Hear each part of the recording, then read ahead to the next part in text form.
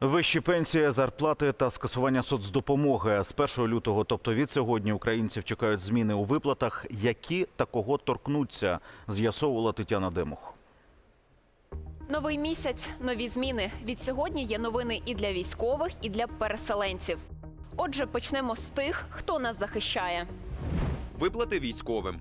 Грошова винагорода, як і раніше, залежить від місця служби. Ті, хто не беруть участі у боях, отримують 30 тисяч гривень. Хто виконує спеціальні завдання на лінії бойового зіткнення 50 тисяч. А ті, хто воюють на передньому краї, матимуть удвічі більше. Крім того, з лютого деякі військові, незалежно від того, чи перебувають вони у зоні проведення бойових дій, можуть отримати виплату у 30 тисяч гривень. Зокрема, це ті, хто готує резерв, розміновує територію або ж збиває ворожі ракети.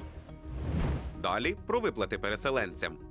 І тут хороша новина: їх подовжили.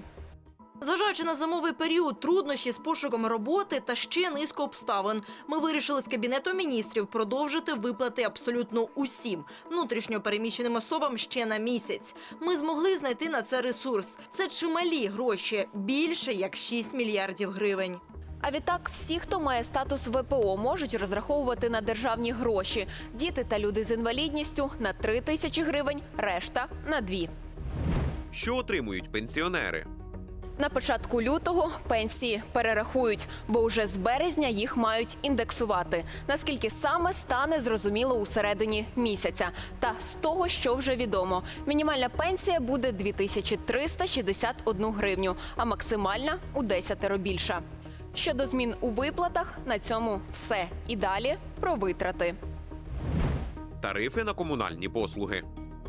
Тут все без суттєвих змін. До кінця опалювального сезону будемо платити звичними розцінками. Хіба що для декого з'явиться нова графа за обслуговування внутрішньобудинкових газових мереж у багатоквартирних будинках. Вартість цієї послуги залежить і від регіону, і від дому.